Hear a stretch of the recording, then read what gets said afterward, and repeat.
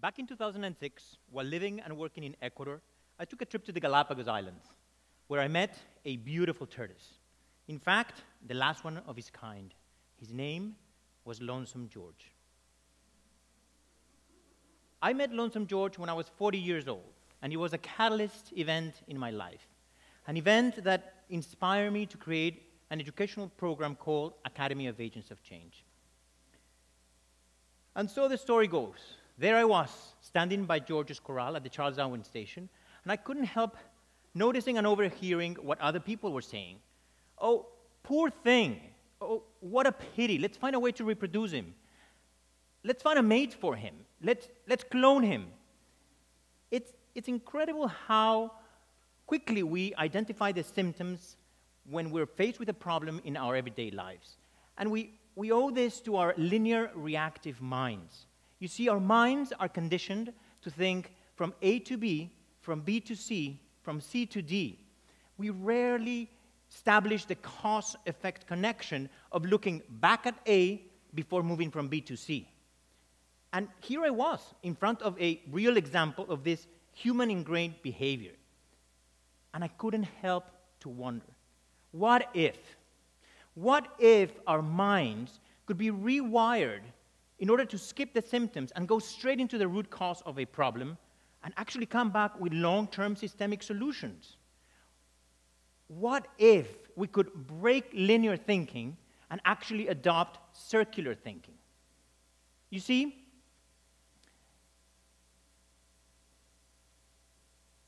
the causes for George to be lonesome were piracy, early colonization, and introduction of new species all products of the choices we humans make on a day to day basis and our inability to anticipate the consequences of these choices. Sadly, on June 24, 2012, I witnessed extinction. Lonesome George, the last surviving Pinta tortoise, died. After 50 years under captivity, we were not able to reproduce him, nor were we able to clone him. With his passing, one more species in this planet ceased to exist. It, it's clear to me, or at least it seems that Lonesome George is a clear illustration of the clear illustration of post-industrial linear behavior that somehow is ingrained in us. And somehow we just prevents us from choosing wisely. You see, the saddest part of the story here is that during that same time, early colonization, piracy, and introduction of new species have increased dramatically in the Galapagos. So, so Lonesome George illustrates that, that post industrial linear behavior that somehow has worked so well for us in the last 200 years to build this incredible civilization that we have. But let me bring this closer to us. Let me bring this closer to Florida. Think about the, the environmental impact that the 1949 Central and South Florida project had on the Everglades as, is, as it diverted water and dried 50% of the Everglades to foster agriculture and to create this vibrant South Florida community that we have. Have you thought about that? Let me, let me bring another global example of this. You know, and, and do you know that our everyday choices are making the Marshall Islands disappear? Yes, an independent country, the Marshall Islands, on the brink of extinction due to sea level rising. And this is another example of how our choices, our everyday choices, somehow does not only affect species, but they, only affect, they also affect languages, cultures, heritages, they end up affecting us. On a more current note, just think about the choices that today, our choices today, how they antagonize, marginalize, and ultimately radicalize jihadist Muslims in our country and around the world.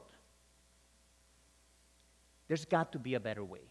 There's got to be a better way, and, and I know what you're thinking, and I know that you say, Eduardo, no one plans the extinction of a species. No one plans the flooding of a whole country.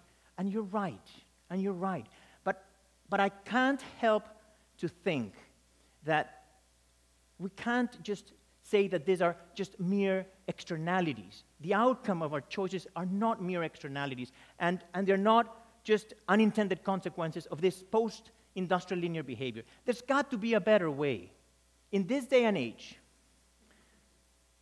of constant change and of vast information at our hands, we've got to find a way to anticipate consequences better and to choose wisely. You see, choosing wisely is the uber 21st century skill to have. And I hope that by the end of my talk, you're with me on this. Let me give you some ammunition so that you can start thinking in these terms. Let's talk about change. Do you know what the shape of change is? This is the shape of change the S curve. Are you familiar with this? It's constant, increasing, and diminishing returns to scale. That is what change looks like. And it's important to understand because it provides perspective of change in time. From one single event, such as a job change, for example, to a collection of events that create a trend, uh, such as a bullish real estate market, to a long term trend that could even be, for example, fuel consumption that frames a whole industry, a whole, sorry, industrial age, an era. That is what change looks like. And it's important to take a look at this because what it does is shows us the type of change, which is usually incremental or transformational. And today we are in a transformational change moment. We are in the gap of transformation. We're in between two eras, which is a very difficult place to be because what happens here is that technologies stop working, concepts are redefined, new words are coined, because we need to jump from one era to the other. It's transformational, it's not incremental anymore. Knowing this, knowing this, I created a program that provides the skills necessary to navigate the, the gap of transformational change and to really envision uh, futures and choose wisely. That is what Academy of Agents of Change is. But let's go and talk about what is an agent of change. An agent of change is someone that is awake, and it's someone that has the courage and compassion to mind his choices, shift his thinking, and impact his world. In fact, we are all agents of change. We just don't know it because we're used at, at extrapolating the present, creating or thinking that that extrapolation is the future. And let me give you the next ammunition so that you start thinking in these terms. There is not one future out there, there are alternative futures. Alternative futures waiting for us to choose and act on it. You see, the extrapolation of the present we call the baseline. And the baseline, it has a probability of 25% of happening. So for it to happen, just think about it. Everything needs to remain constant. And usually, and unfortunately, the future unfolds from the remaining 75%. That future that we, not, we didn't prepare for, the future that we didn't, we didn't have the, the compassion to experience, the future that we didn't have the courage to face, the future that we didn't, didn't dare to dream about. You see, in the end, we end up in someone else's future. Today, there's someone that has a big dream on the other side of the world. And he's dreaming about a new caliphate. And he's acting on it. That is his preferred future. What is yours? What is mine? I am certain that the world is not ruined by the wickedness of the wicked, as Napoleon once said. The world could be ruined because of the weakness of the good. And that is why I created Academy of Agents of Change to bring together a program that has or provides the skills necessary to break from inaction, break from entitlement. Program that elicits a humanistic process to break from linear thinking and adopt circular thinking, to envision alternative futures and choose wisely a preferred future. Now, I wish that I can say at this point, here is the app, plug it in tonight, and tomorrow you'll be choosing wisely. But I'm not there yet. It's a process. It's a process, and it requires time. Academy of Agents of Change is a program that is framed within the Mindshift Impact framework and has six interconnected modules. It is imparted in an academic setting to high, high school students throughout a high school year. We use, apart from a traditional classroom setting, we use a five day wilderness course, a compelling outdoor course, to take individuals out of their comfort zone, to take individuals out of their everyday lives and bring them to instinct mode, to survival mode. Because this allows an individual to self reflect, to become aware, to become introspective. And in doing so, we are rewiring our brains. The program starts with mind, mind in your choices, and we do it, we start by finding myself. It's very important to understand what are you made out of. And we put our agents of change from the beginning through very hard physical challenges. And as they become or overcome thresholds, these innate traits that we all have start surfacing. I can't help remembering or being transported when I meet the agents of change for the first time as they are ready to embark on their uh, journey. Myself standing with my toothbrush, looking at my tent that had everything I owned at that time in it, disappeared in a flash flood in Tanzania. I had to make it with my toothbrush 3,000 miles to Cape Town.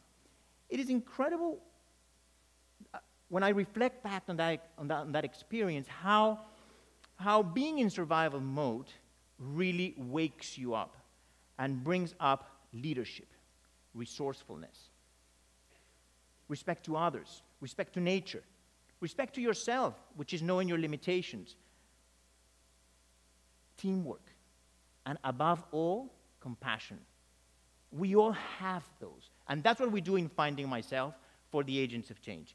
We move on, and once you know that you have all of that in you, and you don't need anything from outside, because that is the trick, knowing that everything to change is in you, you need to find your voice, because you need to communicate this in a, precise and, and articulate way.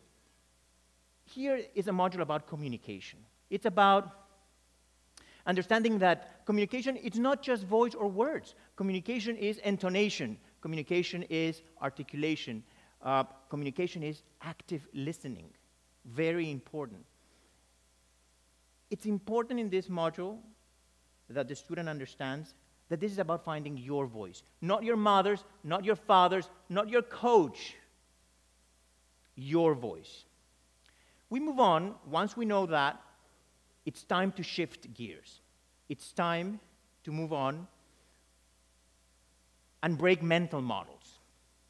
We do it by exposing the agent to a concept which is I am my community. This is not about you. This is about your community. This is about understanding the role that each of us play within a community. This is about systems thinking. This is about understanding interconnectivity the agents of change here in Miami, they get immersed in Miami, in that Miami that they didn't know it exists because we're too worried about thinking about hunger in Africa or refugees in Europe. You see, it's incredible how willing we are to help someone 5,000 miles away without even knowing what's happening in our own backyard. And it is essential to reconnect to your own reality and your community before you help. So, I Am My Community is all about that. We move on, and this is the vehicle of change. This is finding my passion. Finding my passion, no matter what that is math, soccer, music, will help you get there. This is what's going to really drive change. And we're going to help you connect that passion to, creative, to creating social change. I used to believe this module is, is all about listening to nature for inspiration. And I'll tell you why. I used to believe that, that inspiration belonged to me. And, and inspiration does not belong to us. Inspiration belongs to nature. I felt this when I was right there with Lonesome George, face to face. I could hear him here. He was telling me, Don't pity me. I'm here because of your choices. Why don't you use my story and tell people, teach people how to use wisely? That's the best way to reproduce me. That is when I connected my passion for experiential learning and my passion for social entrepreneurship, brought them together, brought it to my head, and developed Academy of Agents of Change. We move on. This is a very personal process at this point, and it's an incredible human being coming, coming up at this point. But in order to become an agent of change, you need to take everything that you've learned and all those abilities that you have and that voice that you have and knowing that you can create change in your community and knowing the vehicle that you're going to use to do it to impact. An agent of change needs to impact. And we do it by dreaming, do it. Dream it, do it. This is a concept borrowed from Ashoka Youth Venture, and it is a, a moment of synthesis where we bring everything that we've learned into creating a sustainable, systemic, and replicable social initiative. We make sure that we understand the financial side of it, the business, the marketing, to make a sustainable initiative. We need to understand uh, from the uh, systemic point of view that it's a profound change, that we're going to create a profound change in that community. And it needs to be easy enough or conceptually easy enough to be able to scale and replicate. I am very proud to say that I have agents of change that have come up with incredible um, um, initiatives using their passion for lacrosse to uh, get students to stay in school, their passion for agriculture to create ecotourism projects, their passion for reading to create mobile public libraries, their passion for dogs to raise awareness on introduction of new species. And the list goes on. Finally, they present. They stand up, they present, and they pitch to be able to implement, to get the seed capital to implement. We uh, curate a panel of local professionals to come, listen to them, and give them the, the check on funding. In the end, this is not about the initiative. In the end, this is about a process that creates mental shift. This is about understanding that you are the catalyst of turning possibility into reality. This is about getting the tools to navigate the gap of transformational change with a new mindset into the 21st century. This is about choosing wisely. And here's my last ammunition to you choosing wisely requires character. And character is not, you cannot wake up tomorrow and have it. You need to build character, it's forged. And character is, it, it comes from two human traits which are the core of everything we do in Academy of Agents of Change. The first one is courage, which comes from the Latin root core, which is heart, and is the ability to focus with all your heart on the task at hand in order to overcome fear and act. That's what courage is about. And second, compassion. Compassion is having the ability to step out of your shoes and wear someone else's shoes before taking a decision. Character and compassion, two human traits, is what creates character, and character is what's needed to choose wisely. No matter who you are, no matter where you live or where you come from, there is a pressing issue in your community. Find out what your lonesome George is. After all, we're all agents of change. Choose wisely and act on it. Thank you.